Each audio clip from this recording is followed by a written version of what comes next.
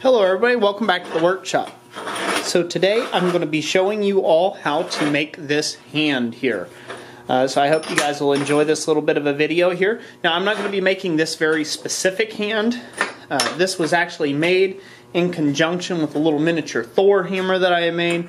It was for a client that it just didn't work out for the client, so I went ahead and made a different a different kind of stand for the client for the little Thor hammer deal. But it's still a pretty neat little project. So the only thing I'm covering today is actually forging the hand itself. And what I'm going to be doing is turning it into a pointer finger. So, if you'll bear with me here, I will find a piece of chalk. If you give me one second. Here. Find a piece of chalk. Way over here. Alright. So the starting material sizes for this, we're going to start with a piece. The length does not matter. Then let me zoom you out here just a little bit. You give me a second. Let's zoom you out a little bit so you can see what I'm doing. Okay, so the starting stock size is going to be one inch or 25 mil. Uh, can't see that at all, can you? Okay, sorry, my British friends. Let's pull that back out a little bit. It'd be one inch or 25 mil.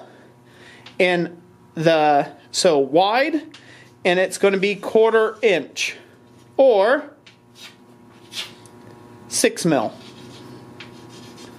thick. So we're going to start with that first and then what we're going to do is we're going to isolate off a mass that is roughly a cube of material. And when I mean a cube of material, I mean a box section that is one inch by one inch by one inch. Okay? So we're going to segregate that off and draw down our wrist or our arm portion of it. And then this portion right in here is going to become our hand. Now, later on, we will actually come back through and we will cut in the fingers to this hand. So we'll have something that looks approximately like this on the end.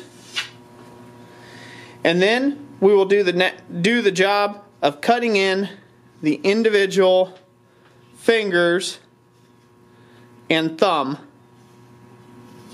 of the hand. And then we'll spread them out, work it out to where it actually looks like a little hand. So I hope you guys will see that. So we'll work on these. There's a little bit of a trick of how that has to work.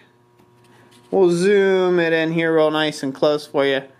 But you can see right there uh, how this is going to have to work here. We are going to have to work on that little thumb. That actually has to be a little side protrusion. And so you guys can see kind of how the palm works there. And that's exactly what we're going to work on. Doing like that from a piece of quarter by one inch flat stock or 25 mil by 6 mil flat stock. Leave it on a long bar so this way it's easier to work the end. You don't have to mess around with a pair of tongs while you're working on it. And that's the best way to take and do it. So, without further ado, let's get to it.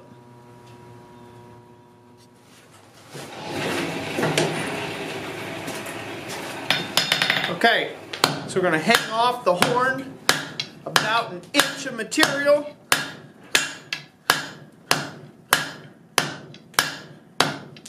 You hit it on each side equally and work right up into that curve. If you notice, I'm laying it flat each time. Just try to keep that nice and even as we draw this down.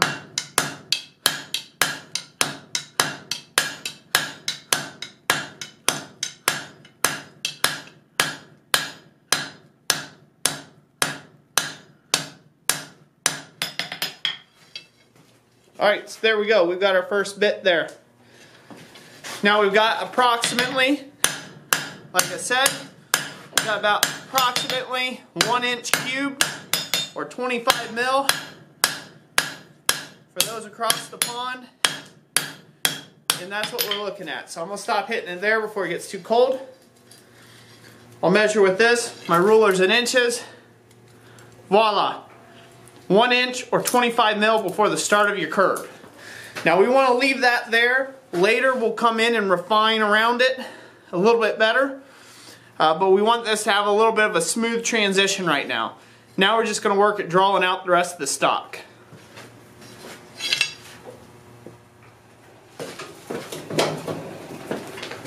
Alright, take a good high heat.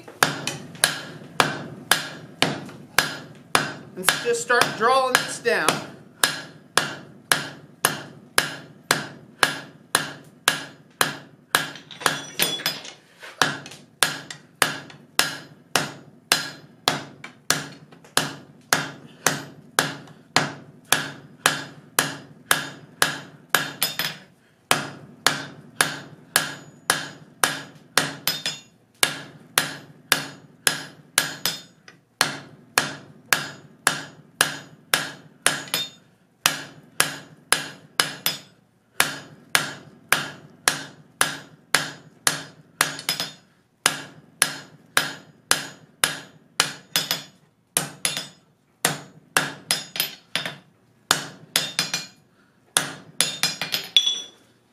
There we have it. Little extra length, and we will continue to draw this down. I'll be back with you guys after a little bit once I've got this drawn down to the length I want.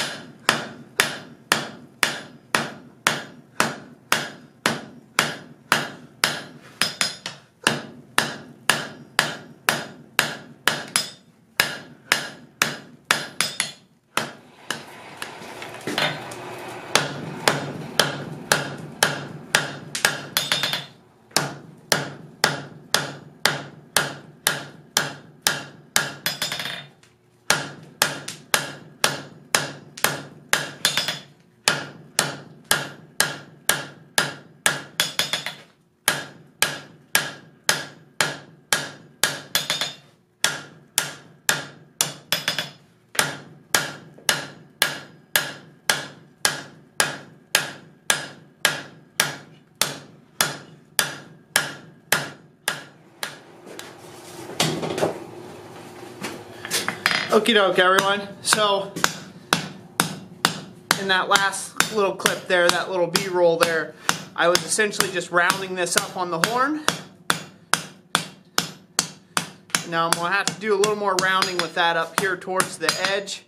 But this is where I talking about how we're going to probably start reforming our little hand area. And this is how we're going to start doing that, is right in here. Okay, so this is the ideal. I'm just going to try to get this all nice and cleaned up.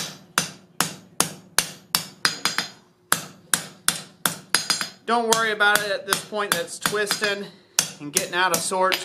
You can always round that up a little bit later. We'll give this a good brush in here. Just like so. Boom. Alright, so we got a pretty good clean here. I'm not going for perfection on the stem portion. You can obviously forge on this as round as you like. The ideal was just to create this little foot pad at the end here. So now that we got this little foot pad at the end, we'll let this cool and we'll go over to the workbench and we'll go ahead and draw out our fingers or essentially what looks like a hand on the end of this and then we can actually start prying out the fingers and working on those, the part that actually makes this a hand. Later on, we'll take the rest of this and turn it into, we will turn the rest of this into a handle. And the reason why is I'm making myself a little bit of a pointer finger.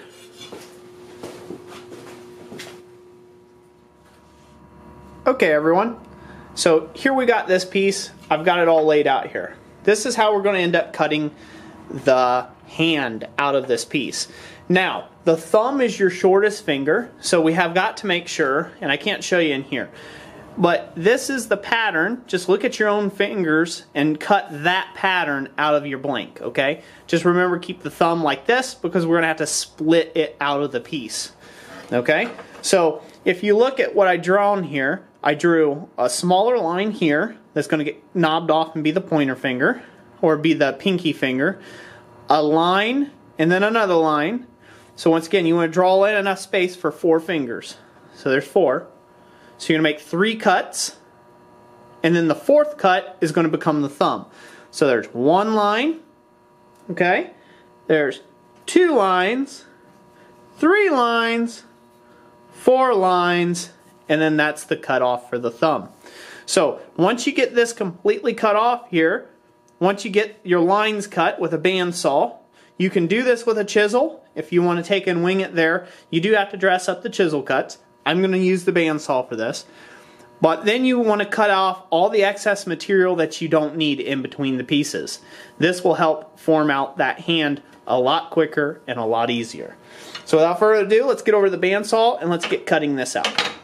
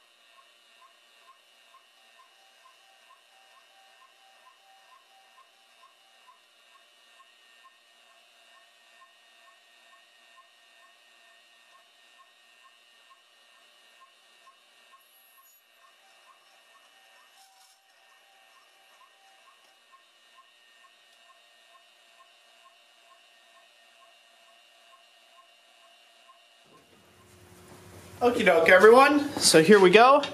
We're gonna get this locked up in the vise here. Hopefully everybody can see that just fine. It's got a nice bright color temperature to it. We're gonna start with the pinky and we're gonna just drive a slitting chisel down between these. This is the ideal here. We just wanna take and drive these and get them sprawled out here. This is really the main goal.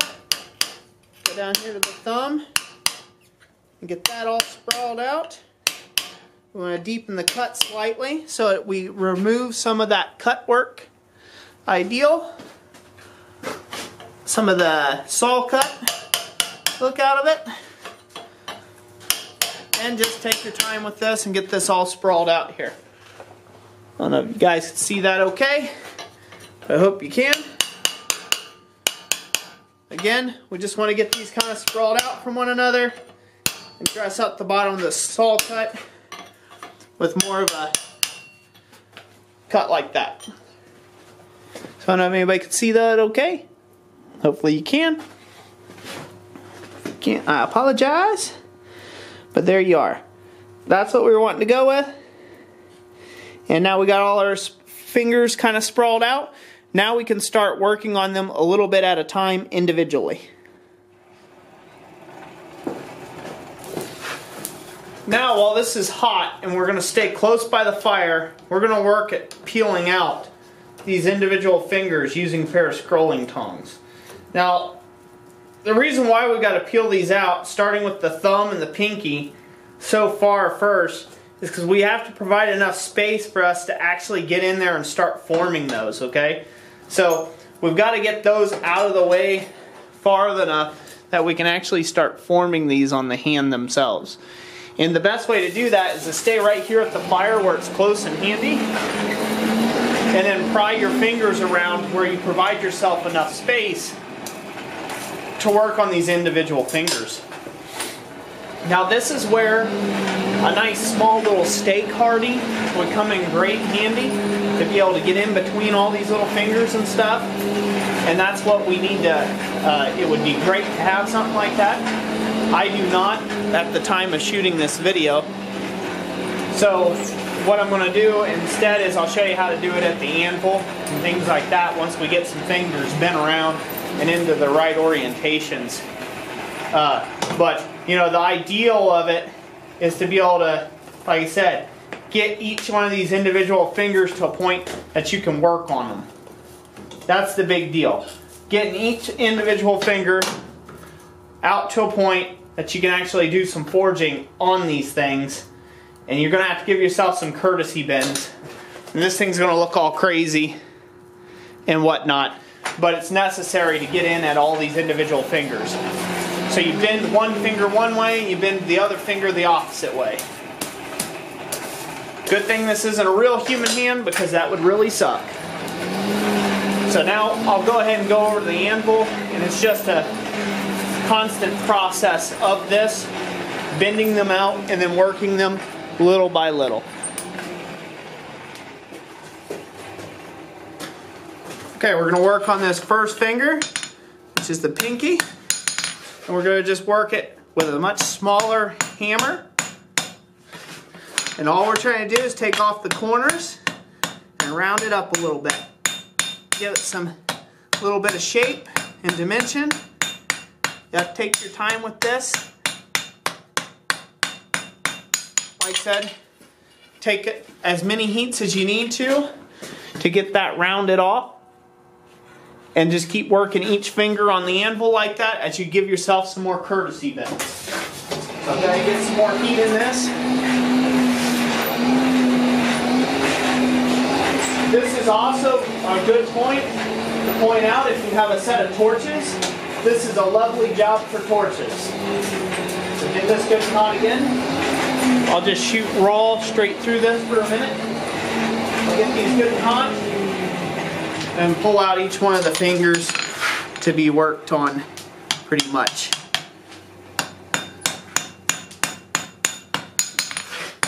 Now remember, fingers are not actually round.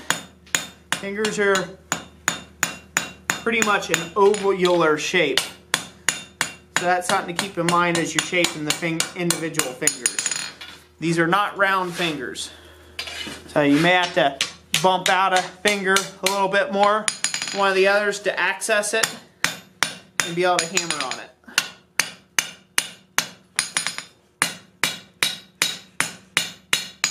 So we get that hot again and keep working these out one by one.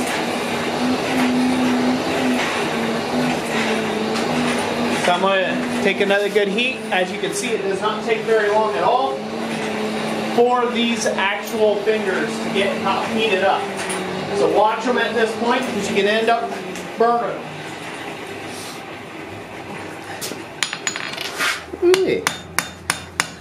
Now I'm just working on whatever fingers out there. There's no real particular order I'm shooting for one or the other on. Once again, it's just whichever one I can access. You can always add detail later and get as technical as you like with these. I'm not going for realism. I'm just going for done. So now you guys can start seeing some of those fingers come together there. So there's the what would be middle finger done. Now I'm going to try to get in here and work out this uh, ring finger a little bit. I might bend it the opposite way and try to hammer it out. Or I might just go ahead and work on the actual pointer finger first because it seems like I can get that one right now. Once you get two fingers done right next to side one another and you've got a reasonable degree of uh, completion of two fingers right next side one another, you can bend them, you can bend them right back into place like they would be in the normal hand position. Something similar to looking like that. So while you're working on these, say this, these two fingers are done, put them together, bend them back straight, so this way you can work on these fingers here. Keep these at a high heat while you're working on them so to avoid stress cracking. Get this good done. All right. So it looks like I can get this finger here done. Once again, I'm just trying to remove the squareness of the corners off this thing. That's the main goal here right now at this point in time. If I can get the squareness of the fingers off, get it rounded up, I'll be a happy man. So now I need to work this thumb out.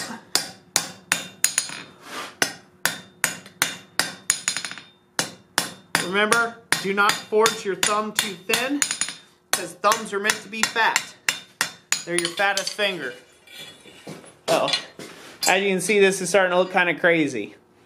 The ideal is to bend all the fingers as far out of the way as you can get them in order to put them back together. So once again, on a much larger hand, you probably add a lot more detail. Or if you want to take your take a whole lot of time and spend crafting this hand, you can. It's really up to you. Let me get this. Still working at this here. Get all these fingers good and hot. I'll work on this thumb some more. I'll make sure that that's pointed down in the fire. Good hot fire going. See what we do Okay. So now we'll come out with that thumb again. And I'm just going to try to once again draw it out just a little. But really, my main focus is to try to make the thing round. So, putting that up on the bench there. Be careful of getting too many sharp edges on it and whatnot. Yeah. And so these are actually coming out quite well. I'm pretty happy with it so far. Now, as an added benefit, so say you don't like some of the roughness, you can smooth all this up with a bit of sandpaper before you bend them back. And I'll probably do that off camera, and then we'll bend all these back up into place. Or you can smooth them all up with a file as well. Oh, but the last finger I gotta work on is the ring finger. So I have that is the last one I gotta work on right there. So I'm gonna work on that one next.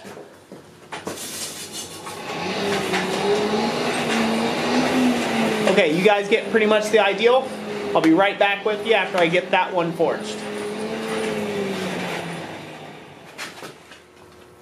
Okay, everybody, so here we are. So now we got all our fingers mostly rounded up. Now, what I'm going to do here, as you can see, this hand looks kind of crazy and all over the place. That's okay. What I'm going to do now is I'm going to actually come back in here and I'm going to clean out all those little areas down in the base of the fingers with a file, a smaller file. I'll let it cool down to a little bit and then come in with a small file and clean out all those areas. And then I'll take a piece of sandpaper that is stripped off. I won't make you guys have to watch all this, but I want to take a piece of sandpaper that's stripped off and then sand in between all the fingers and get everything smoothed up the way I want it before I bend all the fingers back into position. Okay? So that's the next step. I will be right back with you and we'll bend all these back into place after I get that portion done. Here we are ladies and gents. Now we've got this all filed up smoothly and cleaned up with a little bit of a touch of sandpaper. Now we're going to go ahead and bend the hand back into its normal and natural position. When we do that, we'll be able to check its its dimensions and make sure we're happy with it. It doesn't have, you can make it as critical as you like. This is going to be essentially a pointer finger. uh, in demonstrations that I'm going to be doing. And so, I mean, it's really more of a gag than anything, so it's not really that critical for me. I'm just going to use it as a pointer finger. So let me go ahead and get this good and hot. Again. And then we will go ahead and form it. So one of the last things that we will have to do is we will have to put in the palm of the hand. And that'll be done with a little bit of a radiused hammer. You can use a hammer that has a essentially like a rounding hammer. You can use a ball peen or you can use a hand fuller to get this accomplished. Uh, you know, depending on how large or small the hand is. Now, if you want to go for realism, you might even cut in some palm lines, like you see on my palm there, like the regular hand. Basically, after you get this main shape, sky's the limit, and you're only limited by your creativity. We'll get these good and hot, and then we'll go ahead and just knock them right on around. Now, for this, I'm not going to use just a regular hammer. I'm going to use a rawhide mallet to get these kind of laying flat and back together a little bit. And then I will also use a pair of scrolling tongs. At this point, I've done put all this effort into cleaning out a lot of the hammer marks, so I don't want to put those back in. So first things first, we'll get the hand all laying flat in one position, just like so. And that's what the rawhide mallet's for. And then once those are all flat, then we do our tweaking with our scrolling tongs. Be careful with this. You are at the stage right now that if you do things where you let it get too cold, you can end up cracking something off. So be very careful when you're doing this to get your thumbs back right. So there's the thumb sticking out. There's the hand coming together. Now I'm going to go ahead and take another heat on this and we'll do it again. Decided instead of clipping out and clipping in and having about four dozen clips, I figured I'd just shoot this straight through as it does not take that long to heat these up. Let's go ahead and get this good hot again. I'm working in a coal forge. Like that, we're going to use the scrolling pliers here. Hopefully this whole thing is in shot. We'll see how it goes. Okay. So here we go. We're going to go ahead and tweak the thumb back into place a little bit. We want people to still be able to tell that this is from a distance that this is a hand that you created, okay? So you don't want to go too far with this to where you just try to straighten it out too much, okay? We want it to still be able to be told, considered a hand when it's all said and done. So I'm to go ahead and clean up some of the scale off of here. You guys can see how that's all come together. You want to leave a little bit of space in between the fingers. Like I said, just to give it a little bit of gappage so that way people can tell that it's a hand. There we are. Almost like it. It could be a little more proportionately correct, but uh, it's good enough for what we're doing with it. So now we'll go ahead and get it heated again, and we'll curl the fingers over the horn of the anvil. And that'll actually be after I take that back. We're going to go ahead and work out the palm a little bit, decide which side is going to be the palm. I think I'll make that side the palm. And we'll go ahead and put in some lines and things first. I'll go ahead and grab a little chisel. Use a slightly heavier hammer than what I got here. I'll just go ahead and put in some palm lines. Just for fun. But I'm also going to round it first in the palm of the hand.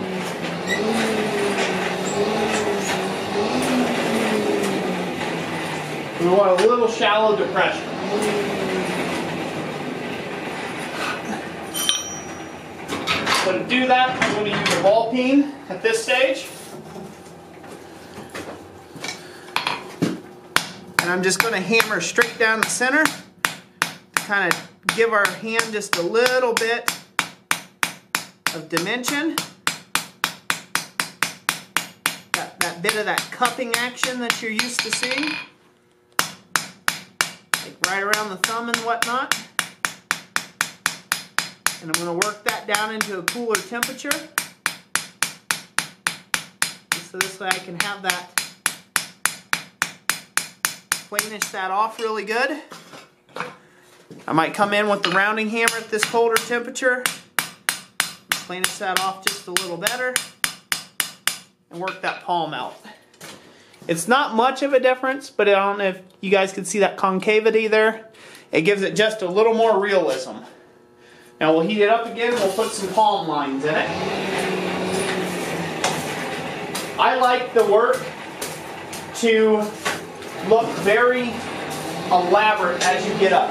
So I like it to catch your eye at first and then continue to catch your eye as you get closer and closer to it. I really like my work to get that. So, you know, as you're at a distance, it catches your eye. You get a little closer, you see a little more detail, a little closer and a little closer and a little closer. You keep seeing more and more detail. I really like that aspect of blacksmithing. And you can do it so easily. So now I'm just going to kind of look at my own palm and just going to kind of cut in some lines, you know.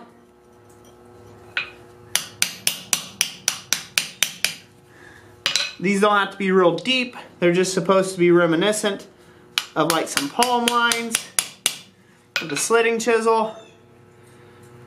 And like I said, they don't have to they don't have to look real crazy. And you know, I've got all sorts of weird weird lines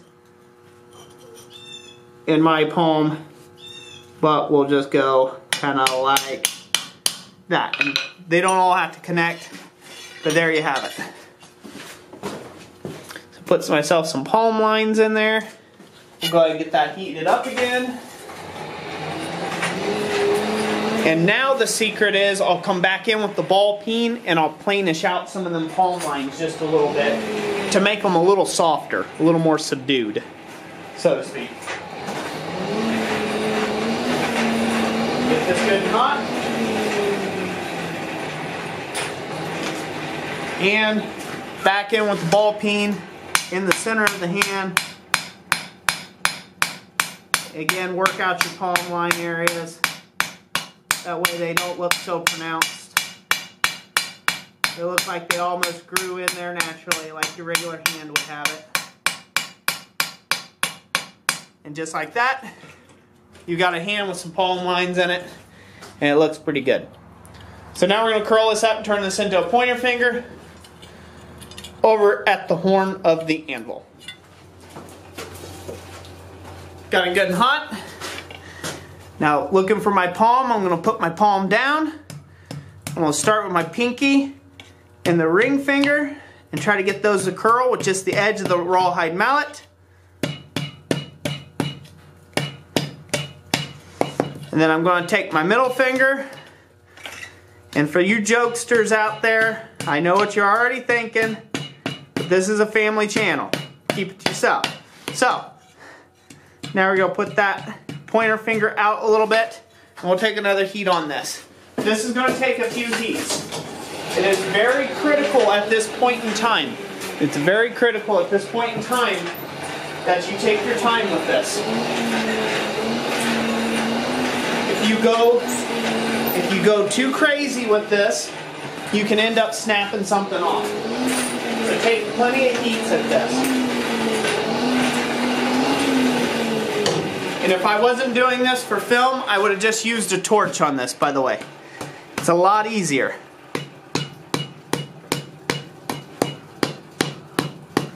We're just trying to get this natural kind of curve around for these fingers, you know?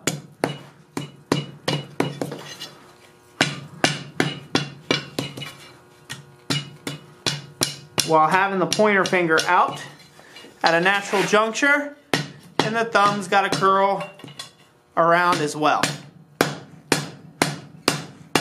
And we'll go ahead and get it hot again. Now you guys can start seeing how those palms come together. And you're starting to see how those fingers come together. So we're trying to go for a pointer finger like that. With the closed palm.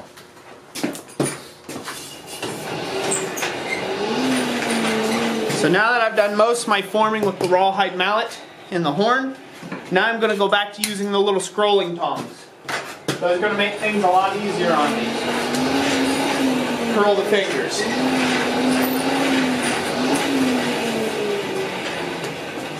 Okay, so here we go. I'm going to go ahead and curl the thumb down to make that kind of circular shape. I'm going to pry out my pointer finger a little more and hopefully get my pinky finger and ring finger to curl in a little bit. We want the middle finger and the thumb to come together, much like you naturally would see them come together. Obviously, we don't want our finger, pointer finger to look broke, so keep it all in line. Keep it all in line, fellas. And ladies, whoever's attempting this process, go ahead and brush this off real good.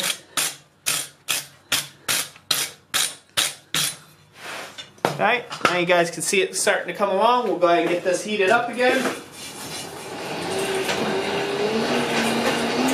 We'll give that pointer finger, we'll give that pinky finger a little more curve to it. I'll be right back with you. Alright, pretty much got this formed exactly how I'm looking to have it formed. Get my fingers arranged a little bit better. Get my wrist straightened out. Don't want this thing to have too much curve in the wrist. That straightened up. I'm going to center up the hand.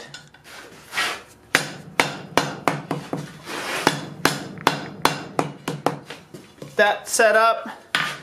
Might come in here with a little bit of that rounding hammer. clean up some of these edges. I don't like the rounding hammer that much, but for this type of work, it's perfect. Allows you to kind of clean up areas because it's got the right curve to work in here. So that's why I like it. And so there we go. Now we got our pointer finger. It looks pretty natural. It needs a little more curve in there, but I'll do that off camera. But now we got a finger that's kind of pointing.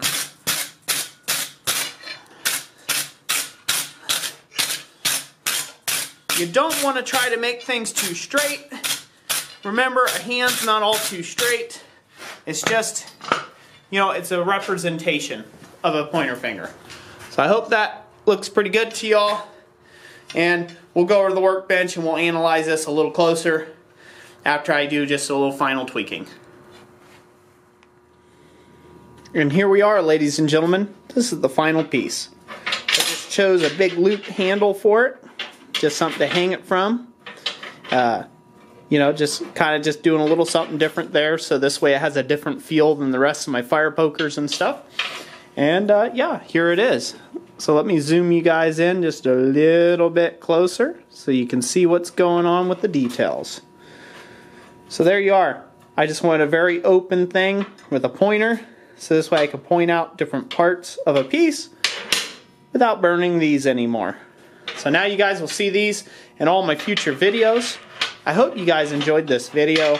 If you did, give it that big thumbs up if you're still around. I greatly appreciate it. If you haven't subscribed yet, you may want to hit, take and hit that subscription tab and then crush that little jingly bell notification to get notified every time I release a video. As I release three videos a day of content currently. Uh, we release three minutes at three, which is a business talk, and then two forging videos slash vlog videos a day. Thank you all for watching this video. I hope you guys enjoyed it. Once again, like I always say, God bless you, and I'll catch you on the next one.